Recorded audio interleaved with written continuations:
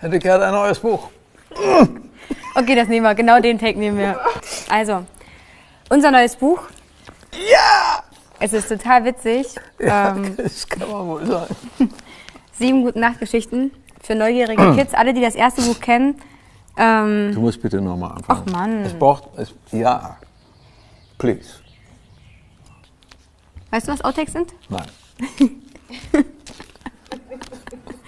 Da musst du einmal mit dem Rücken. Kannst du noch einmal nicht so ähm, tanzen, drehen zu dem Buch? Hier ist es. Kannst du bitte nochmal anfangen? Ja. Das war nicht ernst gemeint.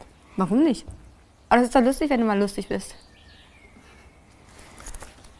Unser neues Buch. Herr Dicke hat es geschrieben.